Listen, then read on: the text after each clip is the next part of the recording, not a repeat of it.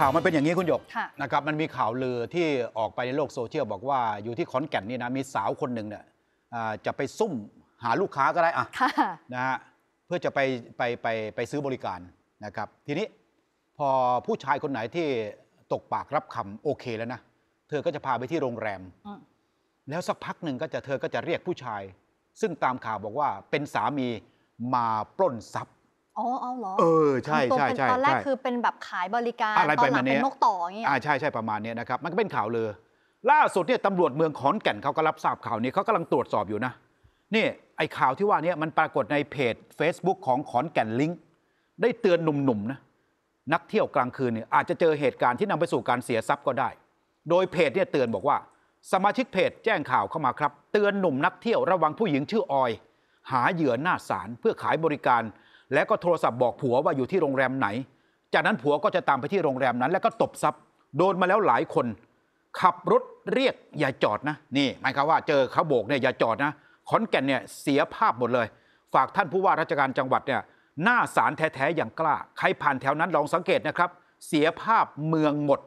ขายกับแบบขายกันแบบโจงครึ่มโจงแจ้งมากเขาเตือนแบบนี้นี่นะครับมันเรื่องใหญ่สิแบบนี้เดี๋ยวมันจะเป็นปัญหาของชาวจังหวัดเขาเนี่ย ถ้าไม่ตรวจสอบจะเป็นยังไง นักข่าวก็เลยเดินทางไปที่บริเวณที่ระบุไว้ในโพสต์เนี่ยเป็นฝั่งตรงข้ามศาลของจังหวัดขอนแก่นนะ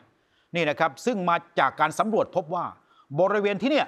นะครับเป็นช่วงเวลากลางคืนค่อนข้างจะมืดนะมันมีไฟอยู่ แต่ไฟเนี่ยมันไม่สว่างจ้าว่าอย่างนั้น พื้นที่ก็ปกคลุมไปด้วยต้นไม้ จากการสอบถามชาวบ้านในพื้นที่ไม่มีใครทราบว่าเรื่องที่เขาลือกันเนี่ยมันจริงหรือไม่จริงอย่างไร ซึ่งหากเป็นเรื่องจริง ผู้เสียหายที่ไม่กล้าแจ้งความ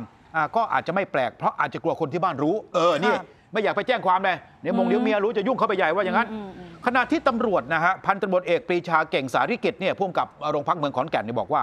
หลังจากทราบเรื่องก็ส่งชุดสืบนี่นะฮะลงพื้นที่ไปตรวจสอบข้อเท็จจริงทันทีเลยนะครับเบื้องต้นเนี่ยยังไม่ทราบว่าเหตุการณ์ที่เกิดขึ้นเนี้ย นะครับมันจริงหรือไม่จริงอย่างไร อยู่ระหว่างการตรวจสอบ และก็จะประสานหาผู้เสียหาย รวมทั้งหากตรวจสอบแล้วพบว่ามีการก่อเหตุดังกล่าวจริง ก็จะดำเนินคดีตามกฎหมายในทุกข้อหาที่เกี่ยวข้อง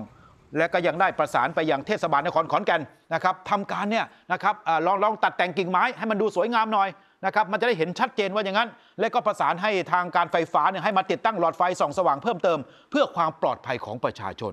ในส่วนของความเสียหายนะครับถ้าหากว่าผู้เสียหายคนใดนะครับมีความเสียหายเรื่องนี้ก็อยากจะให้เข้าแจ้งความนะฮะพอแจ้งความปั๊บอ้าวมันมีผู้เสียหายตำรวจเองก็ทำทำงานตามขั้นตอนของกฎหมายกันต่อไป จะไปตรวจสอบกล้องวงจรปิดนะครับสืบหาคนร้าย สรุปว่าเรื่องนี้นะครับเขาตรวจสอบอยู่ ไม่ทราบว่าจริงเท็จอย่างไรอืมนะครับก็ต้องตรวจสอบก็ต้องอาดูกันต่อไปนะครับค่ะ